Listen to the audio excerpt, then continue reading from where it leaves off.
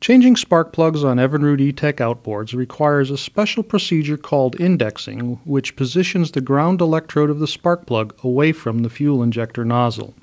If spark plugs are not indexed correctly, the outboard may not achieve top performance and fuel economy.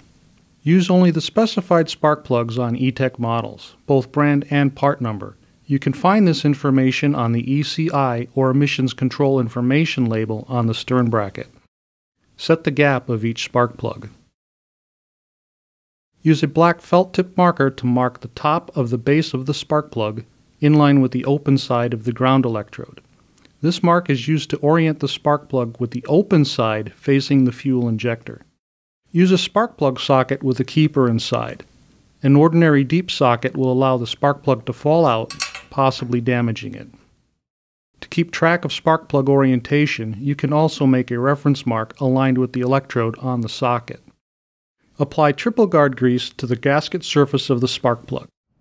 Install the plug by hand until you can no longer tighten it with your fingers. Observe the location of the indexing mark.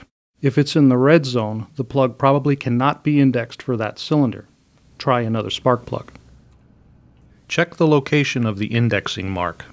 If the mark is in the green zone, use a torque wrench to tighten the plug to 15 foot-pounds. If the mark is in the new green zone, do not tighten it anymore. If the mark is in the red zone, tighten the plug to 22 foot-pounds. Always use a torque wrench and never exceed 22 foot-pounds. Do not use power tools. You could strip the threads out of the aluminum cylinder head or cause other severe damage. If the mark does not reach the green zone before you reach 22 foot-pounds, the spark plug cannot be indexed for that cylinder. Repeat the procedure with another spark plug. Apply dielectric grease to the ribbed portion of each spark plug ceramic and to the opening of each spark plug boot reattach the spark plug leads.